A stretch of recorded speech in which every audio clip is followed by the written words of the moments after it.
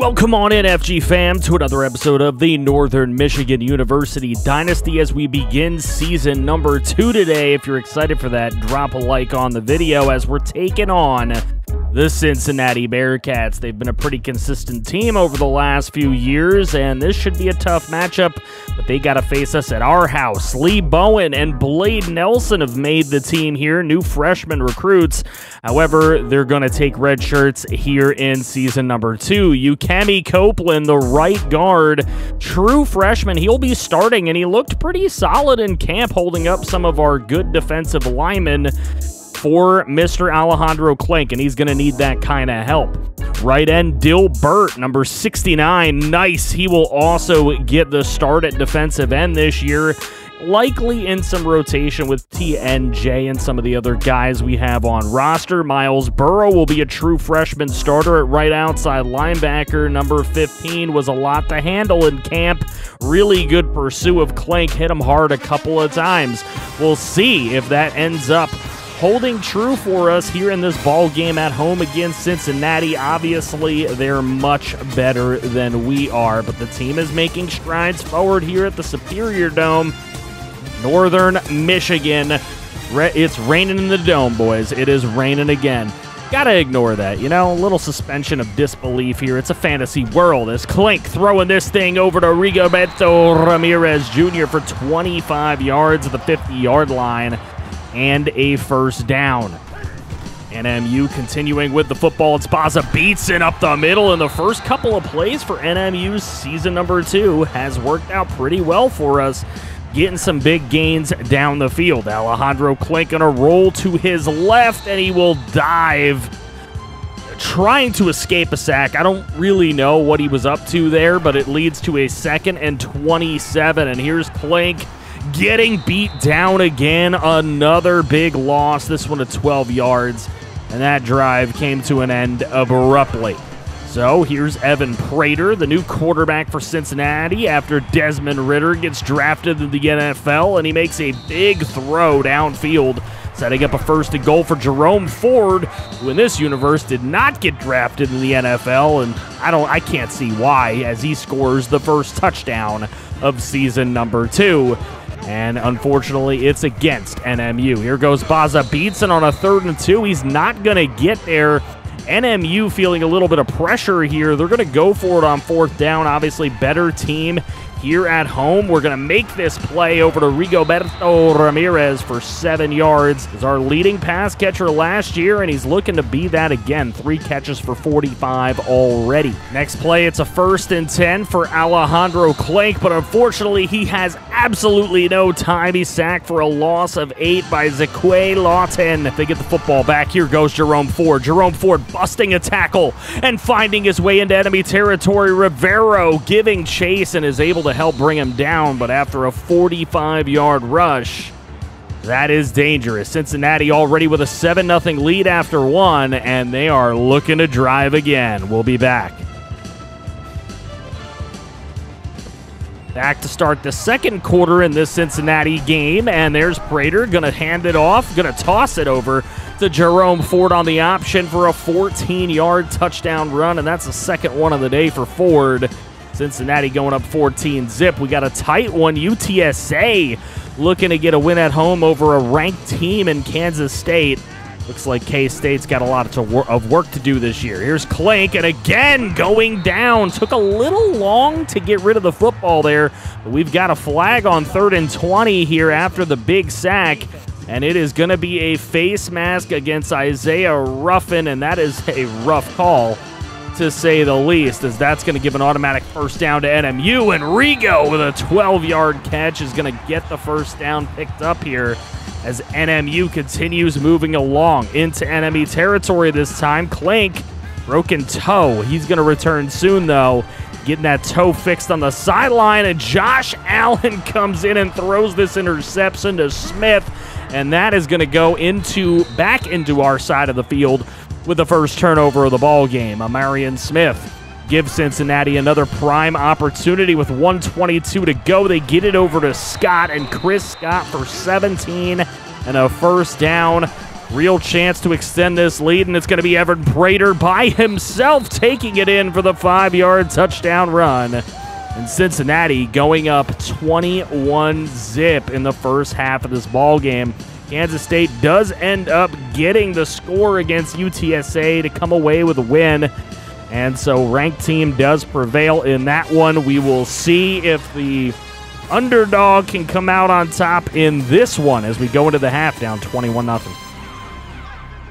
Coming out of the half, it's 206 to 123 in total yards. I just feel like a lot of those total yards have gone down in sacks. And speaking of sacks, there was one against Cincinnati. Here's Prater again dropping back, looking to throw, throwing deep, finds Bell. Bell gets away from Sav Rambo, gets away from Bailey, breaks a tackle, makes another man miss, and he will score. And Cincinnati opens up the second half. Evan Prater's been perfect on the day. One yard shy from being totally perfect with 169 yards. Here's a throw, and that one is intercepted by Jarman Kendall. Bedgood couldn't win the 50 50 ball. Not that there should be a 50 50 ball in the middle of the field, and you can tell Alejandro Clink is uh, feeling it in his toe. It is broken, and there's a nice run right there for Prater. He slides down inside the five. Cincinnati with another opportunity to extend this lead, and Prater's going to take it as he throws it to Jaden Thompson for a four yard touchdown.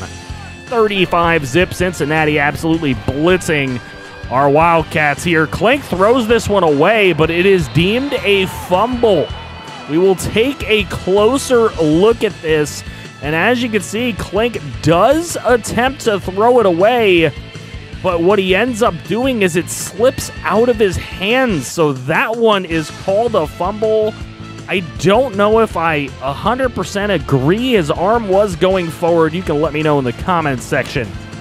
Texas is back. I mean, no, they're not, as they lose 21 to 7 to in-state rival Rice.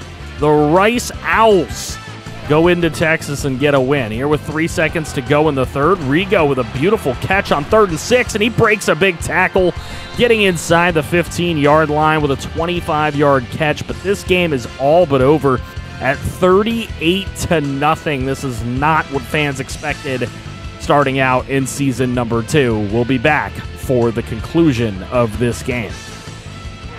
All right, here we go into the fourth quarter, and Baza Beatson gets the first touchdown for NMU with a four yard TD run.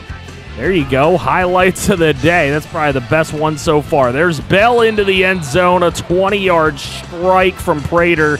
He's 13 of 14 with three touchdowns on the day, and he's run for one. Don't forget that. Boise State goes on the road to beat BYU to start their season off. The rivalry game happening early in the year. And now, us on offense. NMU. Can the Wildcats get another touchdown? It would be great if they could. Clink has to throw this one away, but it's a turnover. The pressure just too much in this one. Our offensive line is not gelled together yet. There goes Jerome Ford and untouched. Believe it or not, he was not touched by a single defender on that run. 52 to 7. Cincinnati with the big lead. Clink's going to throw the short throw to Bruschi. He was looking for something a little bit deeper, but he'll get Bruschi down to the five.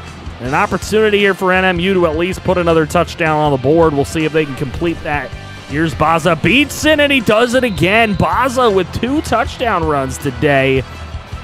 All of last season, he had five. He's got two already in game number one. There goes Jerome Ford. He's going to run right side, and Ford breaking some, not even breaking some tackles. I can't even lie to you. There was nobody who touched him on this play either. And with two seconds left, Cincinnati is going to win this game 59 to 14. Clink 18 to 27 for 217. Not a horrible game, but he did throw an interception and no TDs. So the true sophomore has some things he's going to have to work on. Josh Allen came in, he went 1 of 2 for 12 yards and a pick. Not not good in relief for him. Baza Beatson 145 yards and two touchdowns. Clink's just got to somehow take less sacks. That's the only way. Rigoberto with 93 yards on his day, Bruschi with 51, Bedgood with 36, and Hornsby with 25. Jace Fye did get a five yard catch. I'd like to see him do a little bit more. We'll see if we can get some more guys involved in the offense in the next couple of games, but it was tough today, man. Just could not get an offense rolling, and the defense didn't do us any favors.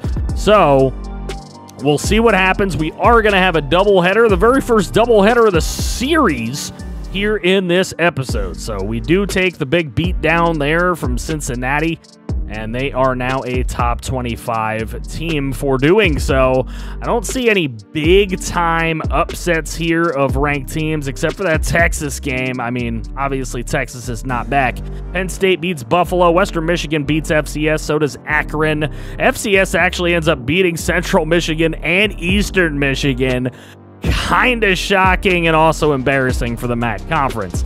Our next football game against number 10 Michigan. And that's why we're going to get this one out of the way here. You can see A plus, A plus, A plus going against our guys, which we don't have much of a chance. Corso knows it.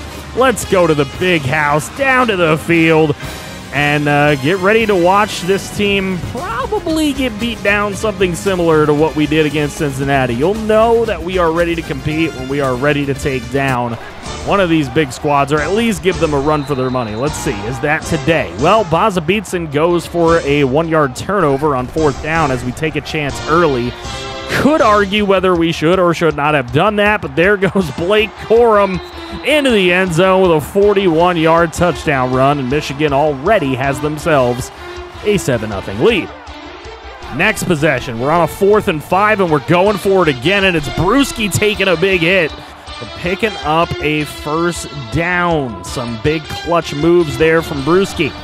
Fourth and eight later on. Klink going to find Kendall Bedgood, who makes a move to the outside and gets brought down by his shoestrings after a gain of 30. Second and one, it's Baza. And Baza already with his third touchdown of the year. He has the first three touchdowns in the NMU offensive season. So there you go. That'll tie it up. And that's how the score would be at the end of one. Tied at seven. Are you shocked? We'll be back for the second quarter. Into the second quarter we go. 6.20 to go in the second quarter. Second and four. Here goes Corum. Cuts to the right side. Beautiful cutback. Breaks a tackle and picks up 20 yards and a first down as Michigan goes into the red zone on this very next possession. 22.3 a carry for Corum thus far. Here's McNamara and he finds Wilson. That was a perfect throw to Roman Wilson from Cade McNamara. He's 3 of 4 on the day for 33 and a touchdown. Really, really nice throw off the break. Here's Klink. He's looking to make a really nice throw, but unfortunately, it's more of a Brett Favre esque try to fit it into a spot it doesn't belong, and it is intercepted as Michigan will take the football back here in enemy territory. Second and two. It's Wilson again, this time inside the 10 yard line with a 28 yard grab, and with four minutes to go in the half. Michigan already up 14 7. They're looking to extend that lead. Here goes Blake Corum breaking a tackle, breaks another one, and finds his way into the end zone with his second touchdown of the day. 21 7 the score. Just three minutes to go before halftime here, a little over three minutes, and Clank. looking to roll. He finds a man deep. Look at this. Bruschi wide open. Look at six giving chase there for Michigan, and Bruschi will get dragged down at the five by his shoestrings. What a tackle, a touchdown saving one. But then Baza Beatson will get another touchdown, his fourth of the season. All four TDs for NMU coming from Baza. Now Klink Gonna roll to his right, and he looks for Calvin Mentor. And Mentor turns it upfield with a broken tackle, and he's dragged out of bounds after a gain of 46. Northern Michigan ends up with a field goal on that drive, and we got a 21 17 halftime game. We're in this. Back for the third quarter, and Cade McNamara will start with the football on a third and 10 opportunity to get off the field. Lutz gets broken bad by Henning, and Henning will find his way all the way to the end zone as he also breaks Levi Frost's tackle attempt for a 68 yard touchdown pass, and that's the kind of big play we just can't give up if we're going to beat a big team like this. So 28 17, the score. Here's McNamara. What a perfect throw. McNamara's come out firing in this game. That one goes to Henning as well, and it sets up a first and goal. Fake to Corum, throw across the middle to Quinton Coleman. 35 17 is the score. 3.08 to go, third quarter. Here's McNamara. He's going to throw end zone. That one's caught by Henning. 22 yards and a touchdown, and Michigan has blown this thing wide open with three touchdowns in the third quarter. 42 to 17. We'll see how poorly this one ends for NMU when we return. And we are back here with five and a half minutes to go in the ball game. Here's Clink throwing a screen to Mentor, playing backup running back duties. You might ask why. Well, they're looking to make him more of a Deebo Samuel type of guy. They get a field goal at the end of the game there, making it a 42 20 final. Klink throws for 281, another pick, no touchdowns. He hasn't thrown the touchdowns this year. It's been Baza Beatson running it in from about four or five yards out, or even less. He had another good game. Baza Beatson might be the guy to ride out this season. We'll see. He's played much better than he played last year. This offensive line may be more geared towards run blocking than pass blocking. It's just been really hard to stick with a run game when you're down 20 points at times, which we have been against some of these bigger, better teams. And we have a couple more of those to go in the next episode. So we'll see what ends up happening against these more established programs. That's going to be the problem. We're going to have to find out how to generate some offense in the passing game, more specifically with the pass blocking against some of these bigger teams. Miami, Ohio ends up beating Army. Ball State goes down. Bowling Green goes down. Ohio goes down. Buffalo barely beats FCS. Akron actually beat Pitt. That's a big win there. Our next game is coming up against Michigan State. That's another big program. They're going to be coming into our building. They're 0 2 on the season, as are we. But obviously, they are a way better club than we are. They're just a better football team, a more experienced football team. We'll see. Maybe we can pull an upset off. If you guys think we can, let me know in the comments section below. You got any score predictions for that game? Just in case it's a blowout and we do another double header, let me know what you think's going to happen in that Syracuse game, too. They're number 11, and they are undefeated. Syracuse, very highly ranked for the first time in a long time. That's how the Michigan State games have fared. They lost an overtime game and then straight up lost another game. Klink does have nearly 500 yards passing with two picks, but it's been Baza Beatson who's been surprising. 6.2 yards a carry. Really love what he's bringing to the table, and we'll see what we can do going forward. For them, we're going to have to watch out for Curry because our running defense sucks.